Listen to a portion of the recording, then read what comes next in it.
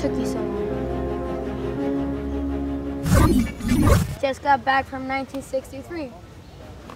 And what were you doing in 1963? Nothing of the importance. Sure.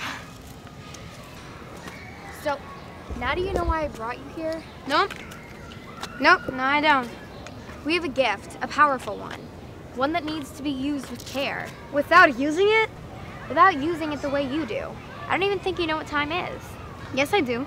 Time is the continued progress of existence and events from past, present, future, regarded as a whole.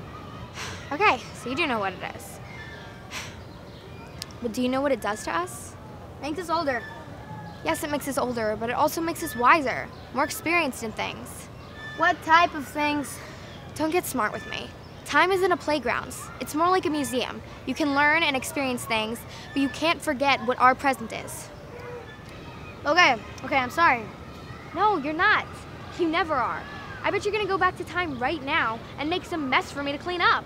Look, Parker, I don't know why you're acting this way, but this is not only your gift, it's also mine. I know that, but I don't want you to go back in time and mess up everybody else's timelines. I'm just trying to help you. Help me? Look, I'm tired of this. If you excuse me, I'm going back to my time zone. Jacqueline? What? This was a triumph.